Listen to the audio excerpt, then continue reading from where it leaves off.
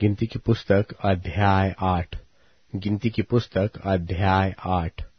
Tweet के बारने की रीति। फिर यहोवा ने मूसा से कहा, हारून को समझाकर यह कह कि जब जब तू दीपकों को बारे, तब तब सातों दीपक का प्रकाश दिवट के सामने हो। निदान हारून ने वैसा ही किया। अर्थात जो आज्ञा यहोवा ने मूसा को दी थी उसी के अनुसार उसने दीपकों को बारा कि वे दिवट के सामने उजियाला दे, और दिवट की बनावट यह थी। अर्थात यह पाए से लेकर फूलों तक गढ़े हुए सोने का बनाया गया था। जो नमूना यहोवा ने मूसा को दिखलाया था, उसी के अनुसार उसने दिवट को बनाया। लेवियों के नियुक्त होने का वर्णन। फिर यहोवा ने मूसा से कहा, इसराइलियों के मध्य में से लेवियों को अलग लेकर शुद्ध कर। उन्हें शुद्ध करने के लिए तू ऐसा कर कि पावन करने वाला जल उन पर छिड़क दे। फिर वे सर्वांग मुंडन कराए और वस्त्र धोए और वे अपने को स्वच्छ करे। तब वे तेल से सने हुए मैदे के अन्नबली समेत एक बछड़ा ले ले और तू पाप बलि के लिए एक दूसरा बछड़ा लेना, और तू लेवियों को मिलाप वाले तंबू के सामने समीप पहुंचाना, और इसराइलियों की सारी मंडली को इकट्ठा करना। तब तू लेवियों को यहोवा के आगे समीप ले आना, और इसराइली अपने अपने हाथ उन पर रखे। तब हारून लेवियों को यहोवा के सामने इसराइलियों की ओर से हिलाई हुई भेंट करके अर्पण करे कि वे यहोवा की सेवा करने वाले ठहरे। और लेविय अपने अपने हाथ उन बछड़ों के सिरों पर रखे।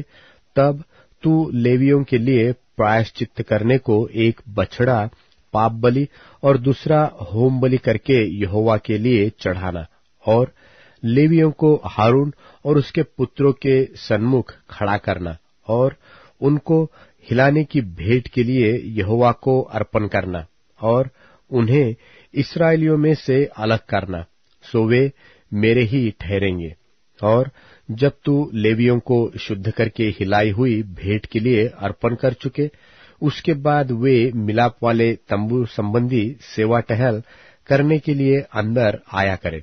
क्योंकि वे इसराइलियों में से मुझे पूरी रीति से अर्पण किए हुए हैं। मैंने उनको सब इसराइलियों में से एक एक स्त्री के पहलौठे की संति अपना कर लिया है। इसराइलियों के पहलौठे, चाहे पुरुष के हो, चाहे पशु के, सब मेरे हैं, क्योंकि मैंने उन्हें उस समय अपने लिए पवित्र ठहराया, जब मैंने मिस्र देश के सब पहलौठों को मार डाला और मैंने इसराइलियों के सब पहलौठों के बदले लेवियों को ले लिया है। उन्हें लेकर मैंने हारून और उसके पुत्रों को इसराइलियों में से दान करके दे दिया है कि वे मिलाप वाले तंबू में इसराइलियों के निमित्त सेवकाई और प्रायश्चित किया करे। कहीं ऐसा न हो कि जब इसराइली पवित्र स्थान के समीप आए, तब उन पर कोई महाविपत्ति आ पड़े। लेवियों के विषय यहोवा की यह आज्ञा पाकर मूसा और हारून और इसराइलियों की सारी मंडली ने उनके साथ ठीक वैसा ही किया।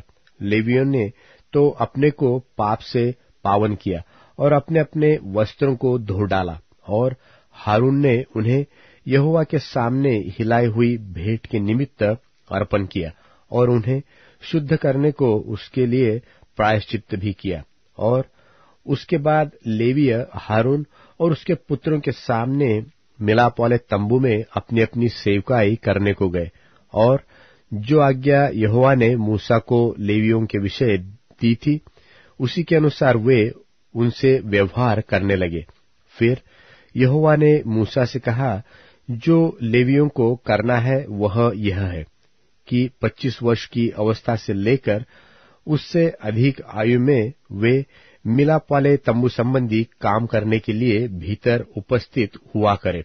और जब 50 वर्ष के हो तो फिर उस सेवा के लिए न आए और न काम करे। परंतु वे अपने भाई बंधुओं के साथ मिलाप वाले तंबू के पास रक्षा का काम किया करे और किसी प्रकार की सेवकाई न करे। लेवियों को जो जो काम सौंपे जाए, उनके विषय तू उनसे ऐसा ही करना।